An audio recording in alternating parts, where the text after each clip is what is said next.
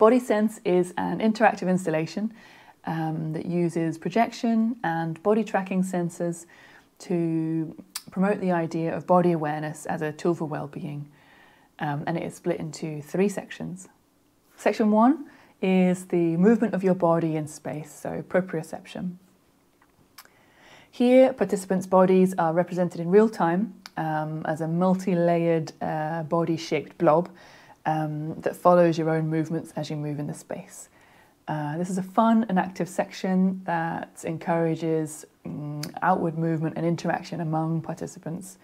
Um, and the shape is abstracted um, so that you're not distracted by your own body image uh, in the projection space.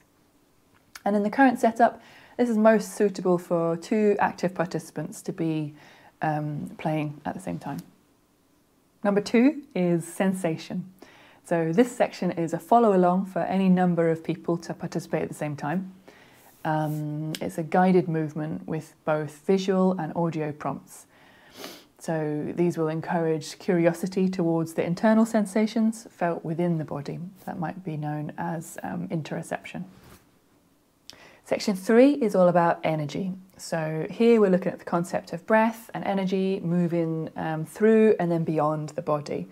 It's quite a light and spacious section um, where sort of bubbles of energy that are both visual and audio reactive are released when um, participants move and reach down to release them. In the current setup, this section is best for two active participants as well. The installation as a whole would be well suited to a wellbeing festival or event, um, and it can be scaled for a range of different types of spaces. Mm, and the guided section can be made appropriate for the audience, so maybe depending on age, attention span, or the theme of the event. Um, and where space permits, um, all three sections could be shown simultaneously on three different screens to allow participants to move freely between them. Um, thank you.